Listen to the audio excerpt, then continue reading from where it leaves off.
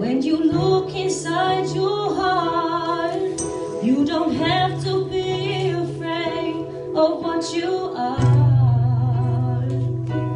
There's an answer if you reach into